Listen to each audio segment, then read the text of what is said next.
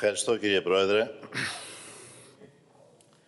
Κύριε Μητσοτάκη, δεν σας κρύβω ότι πριν ανέβετε σε αυτό εδώ το βήμα, το βασικό μου συνέστημα για τις εξελίξεις ήταν μεγάλη ανησυχία.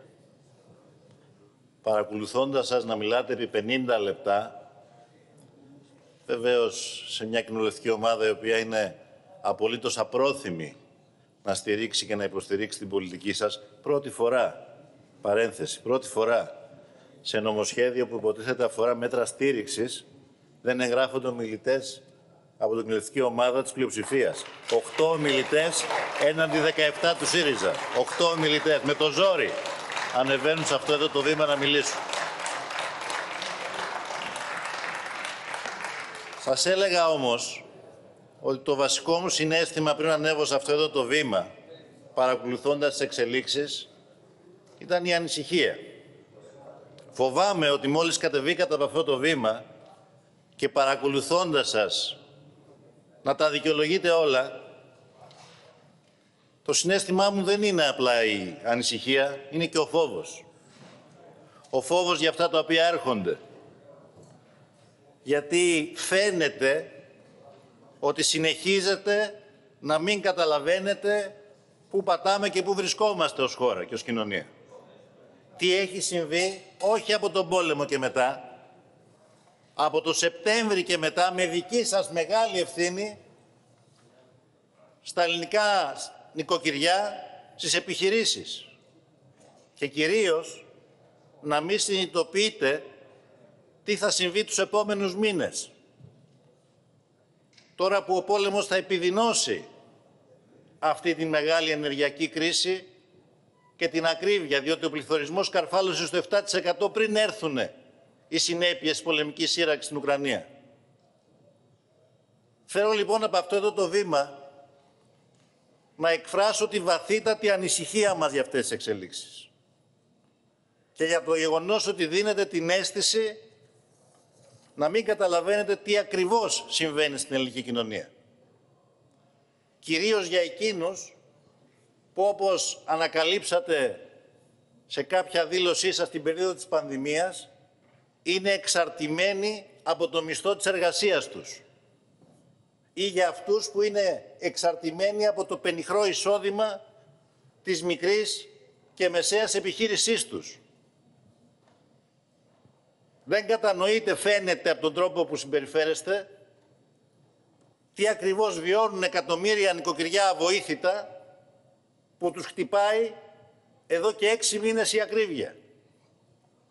Και που τους πολύ κρύους μήνες του φετινού χειμώνα, που δεν λέει να φύγει, δεν μπορούν να ανάψουν τα καλοριφέρ τους ή το air condition για να ζεσταθούν.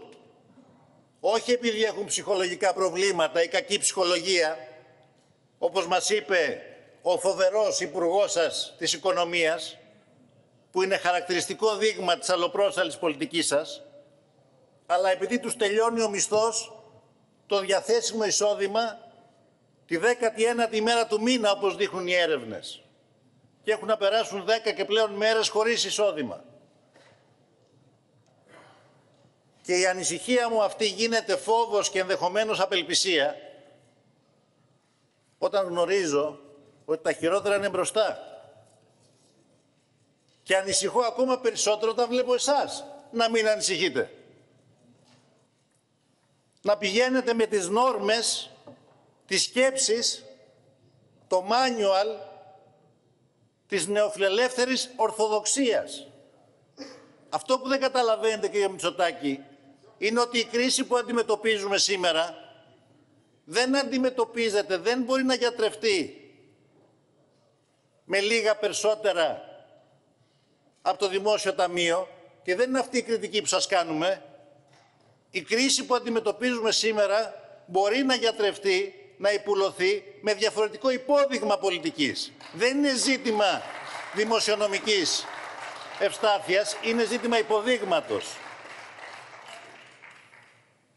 Και θα εξηγήσω τι σας εννοώ. Τι εννοώ. Η βασική σας σκέψη, διότι βρίσκεστε ακόμα στο 2019 και όχι στο 2022, μετά από μια πανδημία και από μια τρομακτική ενεργειακή κρίση και εν μέσω πολέμου, είναι μην τυχόν και παρέμβουμε στην εσωτερική αγορά. Μην τυχόν και αγγίξουμε τα κέρδη, τα υπερκέρδη, τα ουρανοκατέβατα κέρδη, δεν το λέμε εμείς, το λέει η Κομισιόν, των ηλεκτροπαραγωγών εταιριών. Μεταξύ των οποίων και η δημόσια, δίθεν δημόσια επιχείρηση ηλεκτρισμού, η ΔΕΗ, που σπεύσατε εν μέσω ενεργειακής κρίσης να ιδιωτικοποιήσετε. Να δώσετε το 17% με μια αύξηση μετοχικού κεφαλαίου σε ένα φαντ. Και λειτουργεί με απολύτως ιδιωτικο-οικονομικά κριτήρια. Η σκέψη σας λοιπόν, ενώ βρισκόμαστε σε συνθήκες πρωτοφανής ενεργειακής κρίσης, ακρίβειας και κοινωνικής κρίσης, είναι μη τυχόν και διαταράξετε τα κέρδη των νέων μετόχων στη ΔΕΗ ή τη τιμή της, την τιμή της στο ταμπλό του χρηματιστηρίου. Μια λογική παροχημένη, μια λογική αναποτελεσματική για την κοινωνία ακόμη και σε μια εποχή κανονικότητας, αλλά μια λογική απολύτως επικίνδυνη για μια περίοδο κρίσης. Ιδιαίτερα για την περίοδο που έρχεται και που προσέξτε δεν θα είναι περίοδος οικονομικής κρίσης, αλλά περίοδος πολεμικής οικονομίας. Θα ζήσουμε σε συνθήκες πολεμικής οικονομίας. Και εσείς θα συνεχίσετε να σκέφτεστε την τιμή στο ταμπλό του χρηματιστηρίου. Και μην τυχόν και φορολογήσετε τα υπερκέρδη ολίγων ιδιωτών. Δεν είναι μόνο ιδέη. Παρακαλώ. Κάντε λίγο, κάντε λίγο υπομονή, διότι θα πάρετε απαντήσεις σε όλα. Κάντε λίγο υπομονή. Ποιο είναι λοιπόν το δικό σας αντίδοτο, κύριε Μητσοτάκη, που χασκογελάτε μπροστά αυτή την κρίση; Ποιο είναι το αντίδοτό σας, 8 μήνες τώρα; Να βγάζετε κάποια χρήματα από το Δημόσιο Ταμείο, λίγα λέμε εμείς, αλλά δεν είναι εκεί η διαφορά μας, επαναλαμβάνω. Γιατί, για να επιδοτείτε την εσχροκέρδεια να αφήνετε αλόβητο το μηχανισμό παραγωγής ασπροκέρδειας και να έρχεστε να δίνατε ανεπαρκέστατες ενισχύσεις για τον καταναλωτή, ανεπαρκέστατες προφανώς μπροστά στις υπέρογγες αυξήσεις που έχουν ήδη εγγραφεί στα τιμολόγια. Αν τις δίνατε πέρυσι δεν θα ήταν ανεπαρκέστατες. Σε σχέση με αυτό που βλέπει ο πολίτης στα τιμολόγια του ρεύματος, να ανεβαίνει ο λογαριασμός δύο φορές πάνω και να πρέπει να πληρώσει, για παράδειγμα, 1.000 ευρώ παραπάνω και λέτε ότι θα ήταν 1.200 αν δεν είχαμε δώσει κάποιες επιδοτήσεις. Να είναι επαρκέστατες. Και σας ρωτάω ευθέως. Ήρθατε εδώ και μας είπατε ότι οφείλουν, οφείλουν όσοι έχουν υπερκέρδη, τώρα το ανακαλύψατε, σας το λέμε από το Σεπτέμβρη, οφείλουν να καταθέσουν μερίδιο οικειοθελώς θα καταθέσουν μερίδιο. Δεν νομοθετείτε εσείς. Δεν είστε κυβερνήτης. Δεν τα βλέπετε αυτά τόσους μήνες. Και θέλω να σας ρωτήσω ευθέως γιατί; Έχετε αφήσει και αφήνετε ακόμη αλόβητο αυτόν τον μηχανισμό της εσχροκέρδειας των ηλεκτροπαραγωγών εταιριών, μεταξύ των οποίων η ΔΕΗ έχει τη μερίδα του λέοντος. Γιατί δεν βάζετε φραγμό στα υπερκέρδη; Είτε με πλαφόν είτε με φορολόγηση ισχυρή. Μας είπατε ότι δεν έχετε κάνει ακόμα την άσκηση. Περιμένετε η ρυθμιστική αρχή ενέργειας να κάνει την άσκηση. Τόσο δύσκολη είναι αυτή η άσκηση. Εμείς την έχουμε κάνει την άσκηση. Και με βάση τα στοιχεία που έχουμε στη διάθεσή μας και αν θέλετε να μας διαψεύσετε να δημοσιοποιήσετε εσείς τα αναλυτικά στοιχεία. Να δημοσιοποιήσετε εσείς τα, τα αναλυτικά στοιχεία που υποθέτω θα σας τα έχει δώσει η Ρυθμιστική Αρχή Ενέργειας. Και δεν είναι σοβαρότητα στάσης Πρωθυπουργού να έρχεται μετά από έξι μήνες λαϊλασία των οικοκυριών και των επιχειρήσεων και να λέει: Έκανε έτοιμα στη ΡΑΕ να κάνει την άσκηση και να μου πει. Σας τα έχει δώσει τα στοιχεία, αλλά εν διάφορη περιπτώσει εσείς είστε αυτός που θα κληθείτε να διαψεύσετε εάν αυτά τα οποία θα σας πω με στοιχεία ισχύουν ή όχι. Σύμφωνα λοιπόν με την άσκηση που λέτε που την έχουμε εμείς κάνει, από τον Ιούλιο του 2021 μέχρι το Βλεβάρι του 2022, το μέσο πλήρες κόστος παραγωγής στις μονάδες φυσικού αερίου ήταν το οκτάμινο αυτό 153 ευρώ η Μεγαβατόρα. Η μέση συνολική τιμή της ελληνικής χονδρικής αγοράς ήταν στα 202 ευρώ η Μεγαβατόρα. Και αυτό διότι υπολογίζουμε από την αρχή, από τον Ιούλιο. Και το τελευταίο διάστημα η μέση τιμή έχει εκτοξευθεί. Και υπάρχει και στην προημερήσια αγορά υπήρξαν μέρες που την έβριξε στα 300 και στα 350. Αν λοιπόν θεωρήσουμε ως δεδομένο ότι η μέση τιμή κόστους ήταν 153 και η μέση τιμή που πουλούσαμε στο σταθμικά στους τελευταίους 8 μήνες ήταν 202, σημαίνει ότι είχαν υπερκέρδος 49 ευρώ τη μεγαβατόρα. Ναι, υπερκέρδος. Ξέρετε γιατί το λέω υπερκέρδος; Να σας εξηγήσω γιατί. Γιατί στην αντίστοιχη περσινή χρονιά το αντίστοιχο κέρδος για τη μεγαβατόρα των παραγωγών ηλεκτρικής ενέργειας ήταν 2-3 ευρώ. Και τώρα πήγε στα 50. Τι είναι αυτό; Δεν είναι υπερκέρδος. 8 μήνες τώρα. Αυτά τα 49 ευρώ Αυτά τα 49 ευρώ δημιουργούν συνολικά ένα υπερκέρδος για τις ηλεκτροπαραγωγές εταιρείες αυτές με μονάδες φυσικού αερίου στο οκτάμινο 1,7 δισεκατομμύρια. Αν από τα παραπάνω αφαιρέσουμε τις όποιες επιστροφές ή τις όποιες εκτόσεις στους καταναλωτές που κυρίως η ΔΕΗ κάνει, προκύπτει επίσης ένα ηλικιώδες ποσό αυτό των 1,4 δις. Γιατί με κοιτάτε έτσι; Γιατί με κοιτάτε έτσι; 1,4 δις και εσείς δίνετε 600 εκατομμύρια για να επιδοτείτε την σκροκέρδια. Και έχετε το θράσος να μας λέτε, έχετε το θράσος να μας λέτε οφείλουν να καταθέσουν μερίδιο. Πρώτη ιδέα λοιπόν οφείλει να καταθέσει μερίδιο και μετά και οι άλλες τρεις ιδιωτικές επιχειρήσεις που είχαν το οκτάμινο της κρίσης υπερκέρδη 1,4 δισεκατομμύρια ευρώ και εσείς εδώ μας μιλάτε για λεφτόδεντρα και πού θα βρείτε τα λεφτά για να στηρίξετε την κοινωνία και να στηρίξετε την οικονομία.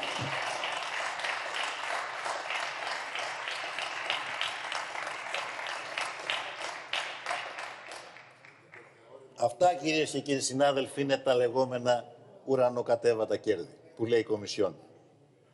Είναι τα ουρανοκατέβατα κέρδη τα οποία πρέπει να φορολογηθούν, εγώ θα πω πρέπει να επιστραφούν στην κοινωνία που στενάζει, στους καταναλωτές. Από αυτά λοιπόν τα 1,4 δισεκατομμύρια στη ΔΕΗ των Golden Boys που θέλουν να φτιάξουν βιογραφικά στην πλάτη του Έλληνα καταναλωτή και του Έλληνα φορολογούμενου και που έχουν παχυλούς μισθούς 8.000 ευρώ ο επικεφαλής που βάλατε μαζί με τα μπόνους που φάνε τα 360.000 το χρόνο, μεγαλύτερο από το δικό σας μισθό. Αυτά λοιπόν τα, από αυτά τα 1,4 δις, το 1 δις περίπου αντιστοιχεί στη ΔΕΗ των Golden Boys, των γαλάζιων παιδιών, με τους παχυλούς μισθούς. Τα υπόλοιπα τα μοιράζονται οι τρεις ιδιωτικές εταιρείες. Σας ερωτώ λοιπόν κύριε Μητσοτάκη, τι περιμένετε για να πάρετε πίσω αυτά τα κέρδη; Περιμένετε να συνεδριάσει το Συμβούλιο Κορυφής το ερχόμενο, την ερχόμενη Πέμπτη, όπου εσείς κοροϊδεύετε και τον ελληνικό λαό ότι δίθεν καταθέτετε προτάσεις για πλαφόν πού; Στην τιμή του χρηματιστηριακού κόμβου TTF στην Ολλανδία. Εκεί θέλετε να μπει πλαφόν. Δεν θέλετε να μπει πλαφόν στη χοντρική τιμή πόλης στην Ελλάδα. Δεν το βάζετε ούτε στη λιανική αγορά. Και τι περιμένετε, μια σειρά από χώρες ευρωπαϊκές έχουν βάλει πλαφόν. Είναι θέμα απόφασης συλλογικής Ευρωπαϊκής Ένωσης. Ποιον κοροϊδεύετε; Θέλω να απαντήσετε λοιπόν. Γιατί δεν φορολογείτε, γιατί δεν παίρνετε πίσω αυτά τα κέρδη, τα υπερκέρδη.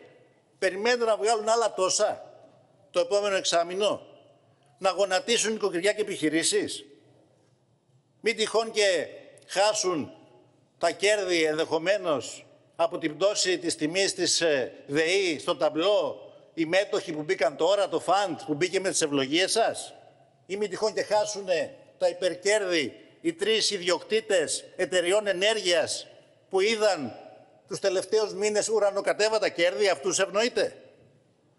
Για ποιανού τα συμφέροντα κυβερνάτε; Του πολίτη, του καταναλωτή, του υγιούς επιχειρηματία ή των φαντς και τριών εταιριών ιδιοκτητών εταιριών παραγωγής ενέργειας. Αυτό είναι το κρίσιμο ερώτημα που πρέπει να απαντήσει το ελληνικό λαό και να τα αφήσετε αυτά για τα λεφτόδεντρα.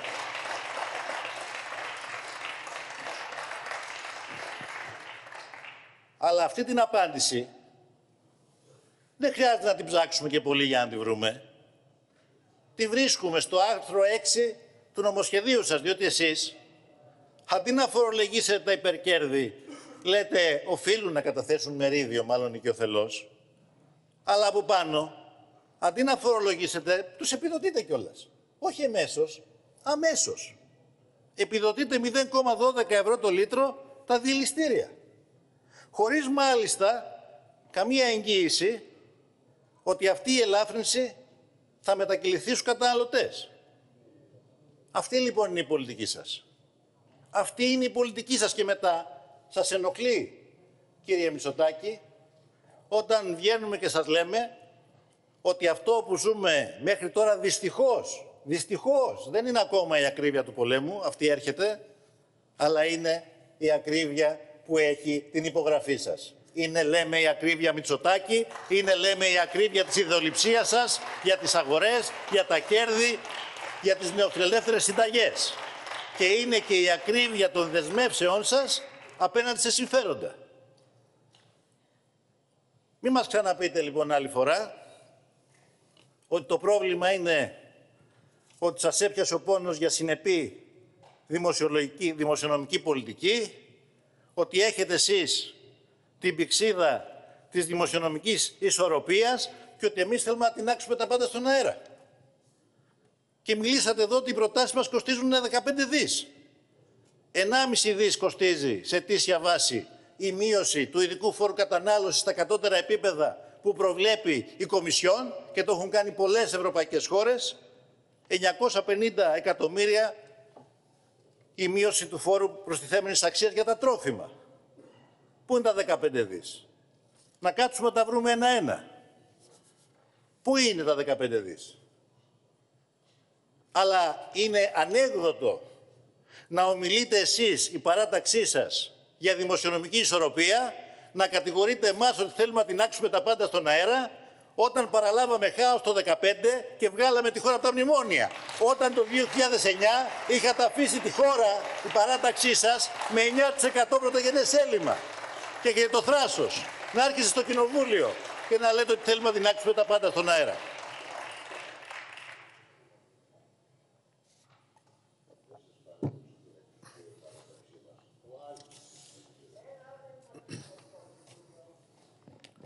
Θα το λέμε λοιπόν ευθέως πάρτε πίσω τα κλεμμένα, γιατί αυτά είναι κλεμμένα. Και προχωρήστε σε μέτρα που σας ζητάμε από το Σεπτέμβρη, από τη Διεθνή Έκθεση Θεσσαλονίκης. Μειώστε τον ειδικό φόρο κατανάλωσης στα κατώτερα όρια που προβλέπει η Ευρωπαϊκή Επιτροπή. Μειώστε το ΦΠΑ στα είδη μαζικής κατανάλωσης και στα καύσιμα. Προσέξτε τώρα. Η διατήρηση του ειδικού φόρου κατανάλωσης στα καύσιμα δημιουργεί μια τιμή η οποία έχει εκτιναχθεί πάνω από 2 ευρώ. Σε αυτή την τιμή έρχεται ο ΦΠΑ. Άρα το κράτος έχει και αυτό υπερκέρδη. Και δεν μειώνεται το ΦΠΑ. Αυξήστε τον κατώτατο μισθό στα 800 ευρώ. Όχι ζήσε μάι να φας τριφύλι. Έξι μήνες τώρα στενάζει η κοινωνία και η μισθωτή. Και έχετε δώσει μια αύξηση της τάξεως του 2% που αντιστοιχεί σε ένα κουλούρι την ημέρα. Και βάλτε πλαφόν στο κόστος του καταναλωτή. Ευρωπαϊκή λέτε η κρίση, δεν φταίω εγώ, άλλωστε σε τίποτα δεν φταίτε εσείς. Και θέλετε να συγκριθούμε μάλιστα και με τα μέτρα που έχουν πάρει άλλες ευρωπαϊκές χώρες. Σας παραθέτω, φαντάζομαι το γνωρίζετε όλοι, διότι είναι πίνακες που μπορείτε να ανατρέξετε σε αυτούς είναι δημοσίευση που είναι ανερτημένη στο διαδίκτυο του Ινστιτούτου Μπρίγκελ και αφορά ενημέρωση πριν τον πόλεμο, 8 Φεβρουαρίου 22. Επί συνόλου 24 χωρών εντός και εκτός Ευρωπαϊκής Ένωσης, το Ινστιτούτο Μπρίγκελ μας λέει ότι 11 χώρες έχουν προχωρήσει σε μειώσεις φόρων είτε ΦΠΑ είτε ειδικού φόρου κατανάλωσης στα καύσιμα. 11 χώρες. Να σας πω ποιες. Το Βέλγιο, η Κύπρος, που στην Κύπρο η βενζίνη έχει 1,4 και, και εδώ έχει 2 ευρώ. Ή δεν το ξέρετε αυτό; Σας ενημερώνουν τα παπαγαλάκια σας ότι στην Κύπρο δεν έχουν δήθεν μέσα μαζικής μεταφοράς. Πηγαίνουν με τα πόδια. Γι' αυτό είναι χαμηλή η βενζίνη. Τι άλλο θα ακούσουμε; Στην Τσεχία, στην Εστονία, στη Γερμανία, στην Ιρλανδία, στην Ιταλία, στην Ολλανδία, στην Πολωνία, στην Πορτογαλία, στην Ισπανία. Εσείς εδώ αρνείστε. Οχτώ χώρες έχουν προχωρήσει σε ρύθμιση των τιμών ενέργειας λιανικής.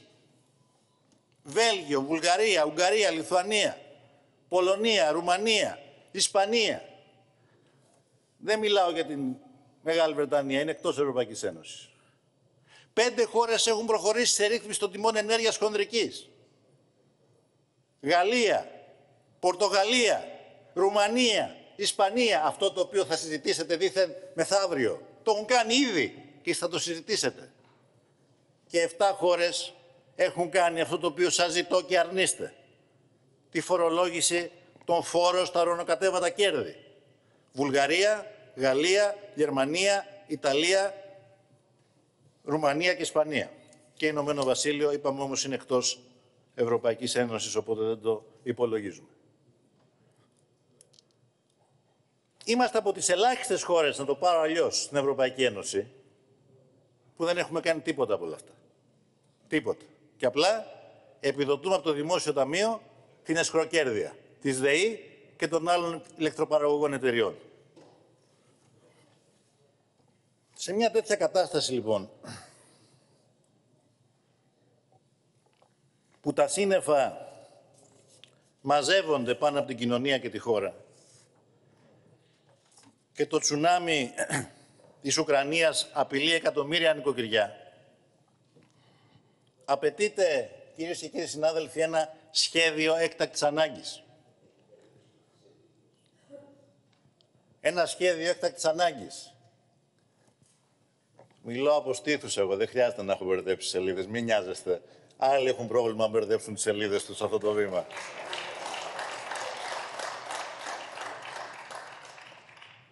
Η χώρα έχει ανάγκη από μια κυβέρνηση ευθύνης. Όχι μια κυβέρνηση δικαιολογίας, κύριε Ναύαρχε και κυρίε και κύριοι βουλευτές της πλειοψηφίας. Διότι εσείς το ζείτε στο πετσί σας, διότι δεν μπορείτε να αντικρίσετε τους πολίτες της περιφέρειές σας. Διότι οι ψηφοφόροι της Νέας Δημοκρατίας δεν είναι μόνο των άλλων κομμάτων, αυτοί οι οποίοι υφίσταται αυτή την τρομακτική πίεση. Οι δικαιολογίες λοιπόν πρέπει να τελειώσουν κάποια στιγμή. Και οι ανώμοιε συγκρίσεις συγκρίνεται διαρκώς, κύριε Μητσοτάκη, τι έκανε ο ΣΥΡΙΖΑ για να βγάλει τη χώρα από τα μνημόνια, με τρόικα, με μνημόνιο, με τρόικα πάνω από το κεφάλι του στα δημοσιονομικά και τι κάνατε εσείς, που βρήκατε 37 δισεκατομμύρια ευρώ και τη χώρα έξω από τα μνημόνια και ρυθμισμένο το χρέος. Ωραία σύγκριση. Είναι σαν να παίζεις ένα γήπεδο δικό σου με κατηφόρα και ο αντίπαλος με πέντε παίκτες ή με 11 με το διαιτή δικό σου. Ωραία σύγκριση κάνετε. Πολύ ωραία σύγκριση και μας μιλάτε για τον έμφυα. Και μου κάνετε και κόλπα εδώ. Αν θα το ψηφίσω, ωραία μαγιά αυτή. Αν θα το ψηφίσω, προφανώς. Και το τελευταίο ευρώ που θα έρθει και θα ελαφρύνει τον Έλληνα πολίτη, εμείς θα το ψηφίζουμε. Το θέμα είναι ποια είναι η πολιτική σας. Έρχεστε λοιπόν εδώ και μας λέτε εμείς μειώσαμε τον έμφυα. Ποιος τον έφερε τον έμφυα σε αυτή τη χώρα, κύριε Μητσοτάκη, θυμάστε; Μήπως η κυβέρνηση στην οποία συμμετείχατε κι εσείς. Μήπως ήσασταν υπουργός στην κυβέρνηση Σαμαρά; Ή μήπως. Ή μήπως το Γενάρη του 2015 ή μήπως ισχυρίζεστε ότι το Γενάρη του 2015 είχε ολοκληρωθεί η δημοσιονομική αναπροσαρμογή και άρα εμείς θα μπορούσαμε έτσι να προχωρήσουμε στην πολιτική την οποία εμείς πιστεύουμε. Και είναι λαθροχειρία αυτό που κάνετε, διότι μόλις βγήκαμε από τα μνημόνια, Το Νοέμβρη του 2018 μειώσαμε εμείς τον έμφυα 270 εκατομμύρια ευρώ και έρχεστε και συγκρίνετε το σημερινό με αυτό που ήταν πριν τη μείωση τη δικιά μας, συγκαταλέγοντας και αυτήν στις δικές σας πρωτοβουλίες και μειώσεις. Και βεβαίως να σας θυμίσω ότι το 2019 κάνατε μια μείωση 200 εκατομμύρια επιπλέον από το δικό μας προπολογισμό, αν θυμάστε. Αλλά αυτή η μείωση κατανεμήθηκε κατά την άποψή μας άδικα. 50% από αυτό αφορούσε περιουσίες πάνω από 300.000 ευρώ. Πολίτες λοιπόν οι οποίοι κατά την άποψή μας δεν ανήκουν σε αυτό που ονομάζουμε μεσαία τάξη, διότι είναι το 4% περίπου των φορολογούμενων. Δεν είναι μεσαία τάξη το 4% για να συνεννοηθούμε κιόλας. Και έρχεστε σήμερα και παρουσιάζετε μια μείωση, την μείωση του έμφυα, την ώρα βεβαίως που τα παίρνετε διπλά και τριπλά από τους λογαριασμούς, η οποία κατά το 1 τρίτο αφορά το 5%. Το 1 τρίτο αφορά το 5%. Στο συμπληρωματικό φόρο πηγαίνει το 1 τρίτο. Το οποίο ουσιαστικά καταργείται. Αλλά επειδή σας αρέσει διαρκώς να κάνετε συγκρίσεις μεταξύ των ετών, των δύσκολων ετών, που βάλαμε πλάτη και πήραμε πολιτικό κόστος να βγει η χώρα από τα μνημόνια τα οποία εσείς μας φέρατε, με το 9% έλλειμμα το 2009, Αφού σας αρέσει λοιπόν να τα συγκρίνετε αυτά, να σας πω και τούτο. Η επιβάρυνση των κυβερνήσεων ΣΥΡΙΖΑ στη μεσαία τάξη την περίοδο των τεσσάρων χρόνων ισοδυναμεί σήμερα με δύο λογαριασμούς ΔΕΗ και τρία σούπερ μάρκετ. Αυτή είναι η δική μας επιβάρυνση.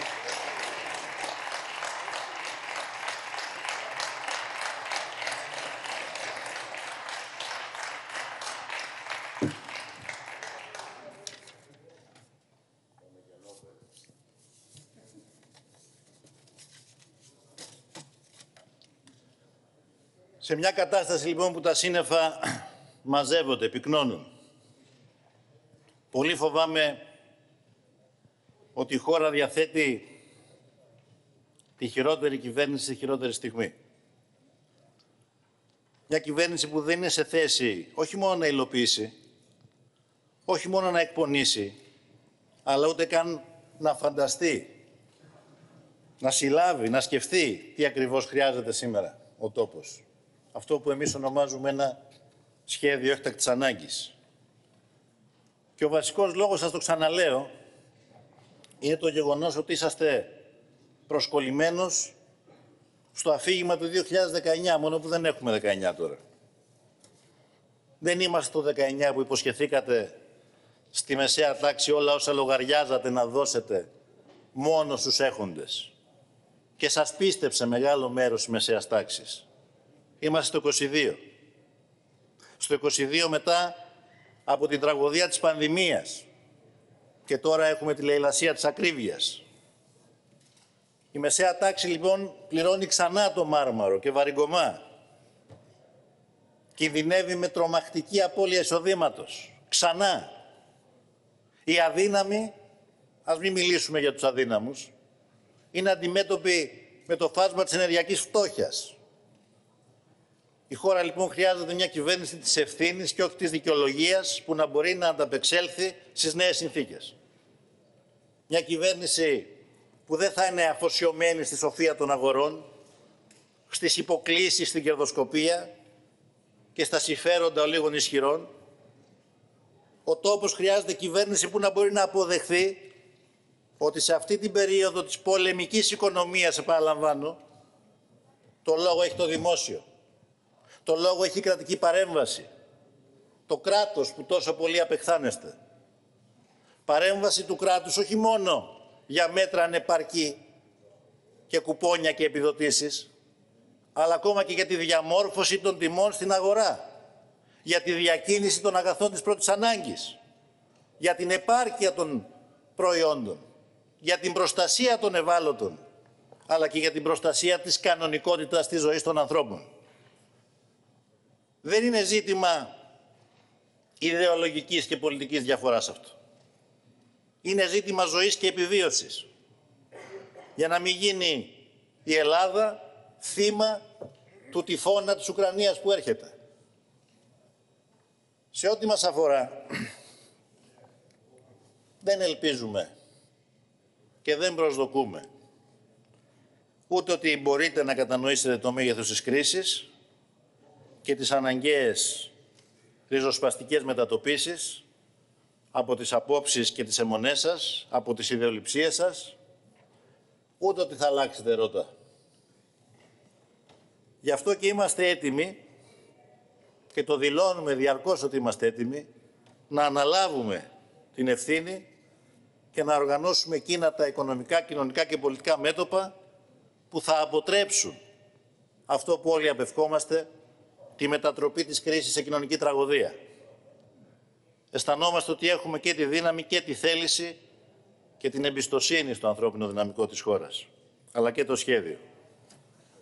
Το αποδείξαμε αυτό στα δύσκολα χρόνια των μνημονίων, ότι μπορούμε και θέλουμε εκεί που άλλοι είτε δεν θέλουν είτε δεν μπορούν. Δεν είστε, κύριε Μητσοτάκη, ούτε ο μόνος ούτε ο πρώτος που ηγείται της χώρας σε μια περίοδο ιστορικών προκλήσεων. Η αλήθεια όμως είναι ότι δεν έχει υπάρξει το δικό σας προηγούμενο. Εσείς απέναντι στις μεγάλες προκλήσεις δεν αναζητάτε λύσεις, αναζητάτε διαρκώς δικαιολογίες.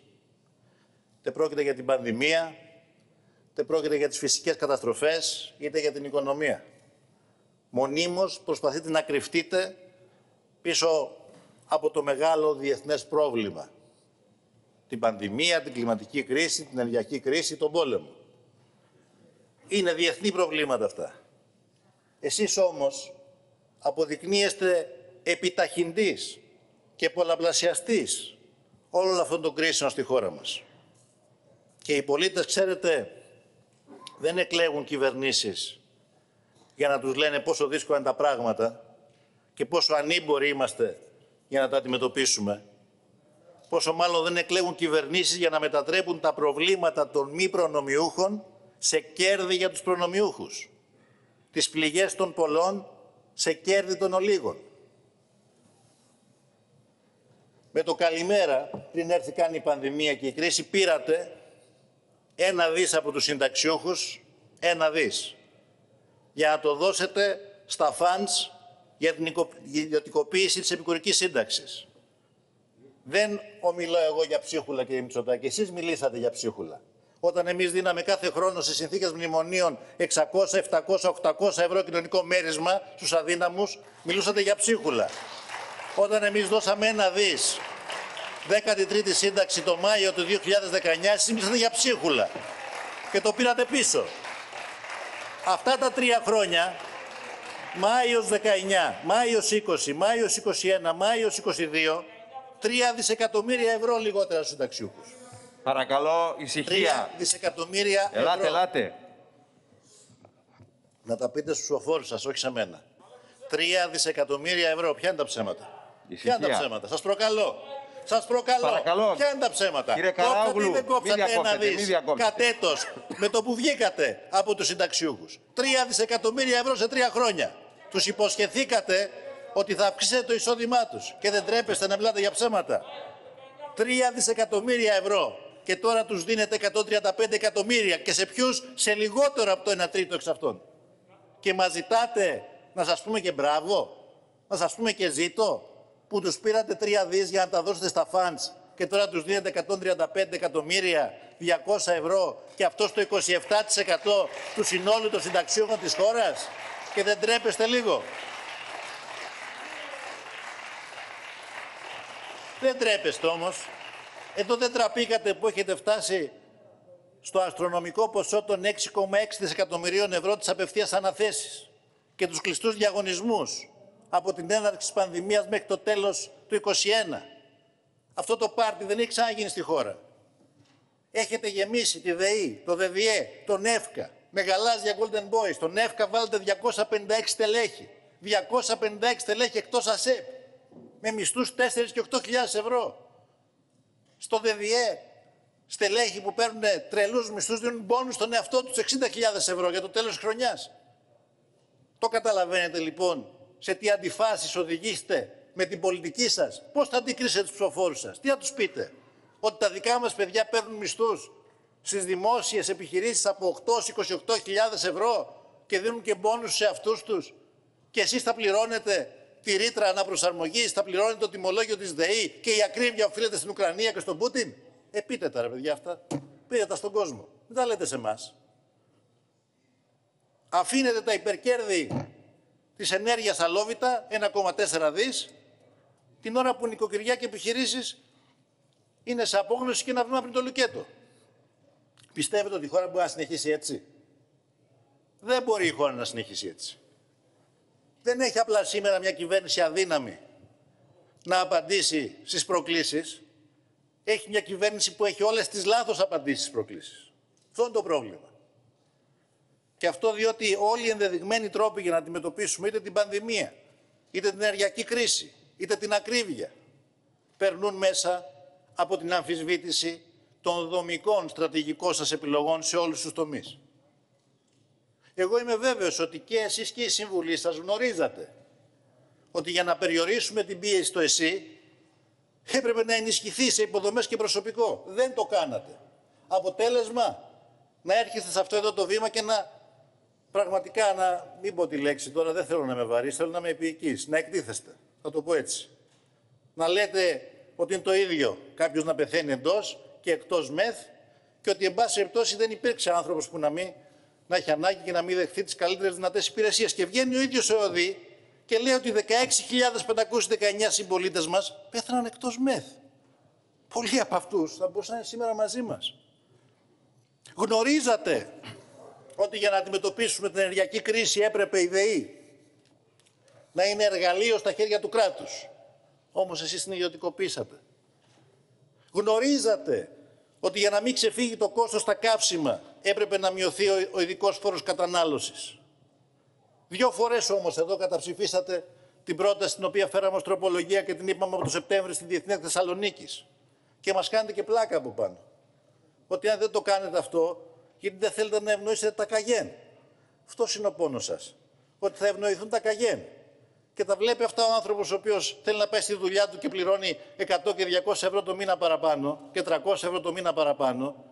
Και τα παπαγαλάκια σας του λένε ότι δεν ανήκει αυτό στην παραγωγική τάξη της χώρας, διότι στην παραγωγική τάξη της χώρας είναι αυτοί οι οποίοι έχουν πάρει μεγάλους μισθούς. Αυτός που παίρνει 500 ευρώ δεν χρειάζεται να πηγαίνει με το αυτοκίνητό του, πρέπει να παίρνει τα δημόσια μέσα μεταφοράς. Γνωρίζατε τέλος, και κλείνω, ότι για να μην εκτοξευθούν οι τιμές στα βασικά αγαθά έπρεπε να μπει πλαφόν στις τιμές και να γίνουν έλεγχοι στην αγορά. Εδώ και 8 μήνες όμως παριστάνεται τον τροχονόμο στα καρτέλ και στο σαρωτικό κύμα της ακρίβειας. Όλα αυτά λοιπόν τα γνωρίζατε, αλλά έχετε επιλέξει συνειδητά να κάνετε τα αντίθετα. Γιατί πολύ απλά δεν κυβερνάτε με γνώμονα το δημόσιο συμφέρον. Δεν κυβερνάτε για αυτούς που πλήττονται.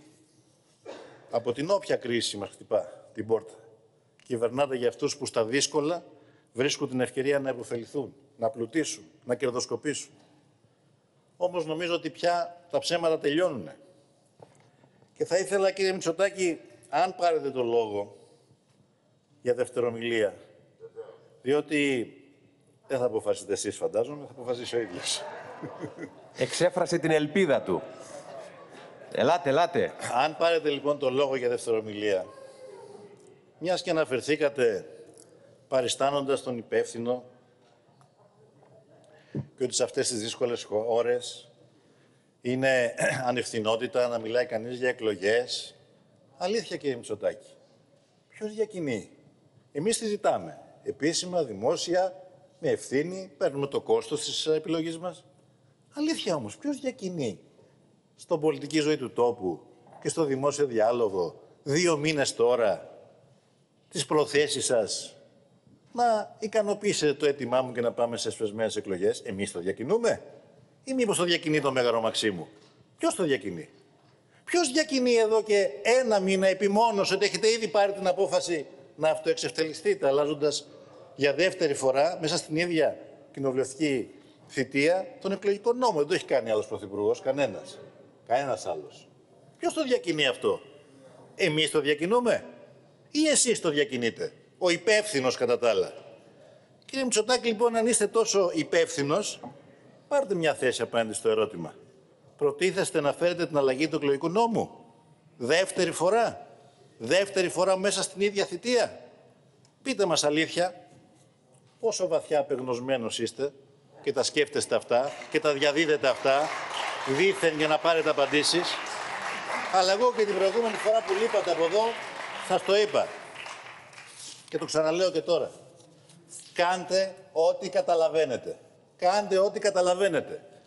Αντισυνταγματικό νόμο που να ενισχύει το δεύτερο κόμμα δεν θα καταφέρετε να φέρετε.